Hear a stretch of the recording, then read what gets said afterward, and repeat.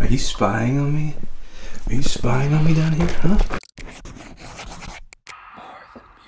It is official, ladies and gentlemen. I have officially purchased and upgraded tremendously my camera rig. I decided to go with, I'll probably show when it comes on the channel, like when I, I actually got overnight delivery, so it'll be here tomorrow.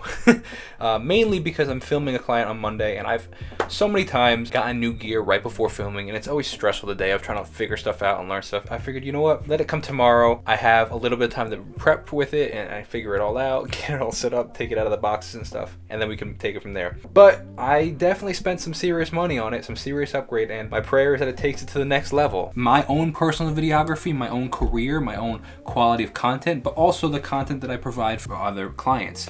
I remember looking back a couple years, I used to do a lot of client work filming on an iPhone, uh, but then, you know, I got hired to do a video uh, for a wedding, a wedding video. It's like I can't film it on a on a uh, an iPhone, so I used that money to buy new gear, and I did, and it was like it was next level. It brought me to the next level, and I'm, I'm praying this does the same thing. It takes me to the next level, even though it's scary because it's a serious investment in my career. I'm just trusting that the work will come and that next level of work will come. So that being said, I'll keep you posted. I'm excited, but also a little nervous, but that's how we get to the next level. It's not like I'm just like frivolously, ah, let's just have fun. I'm actually the, the last person to, to upgrade gear. I'm always the one that likes to uh, just use what I have kind of thing and make it work.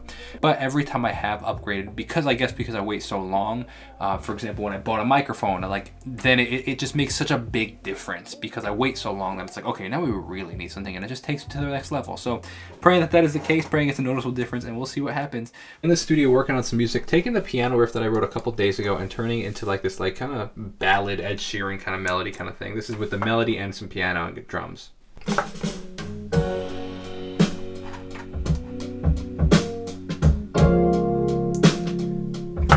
Let's record some guitar to this now. What we want to do with this, even just in the sound, we're in the key of F. Oh, I should have before I do that, pick the key that I want to go into. Not sure that I want to stay in this key that we're currently in, but let's let's just mess around a little bit.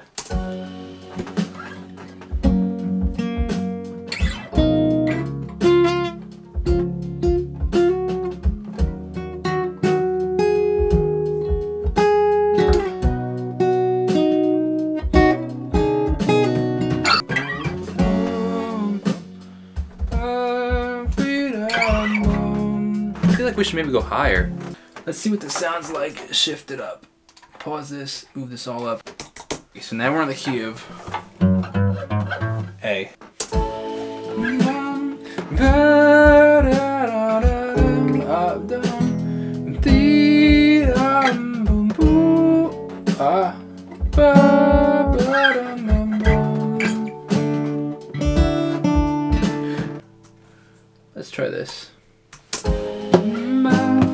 So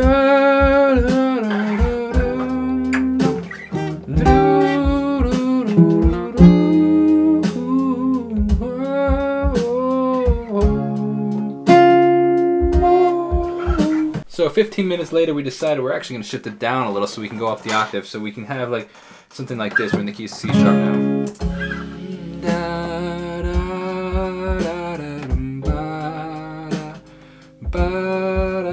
We can shift it up like.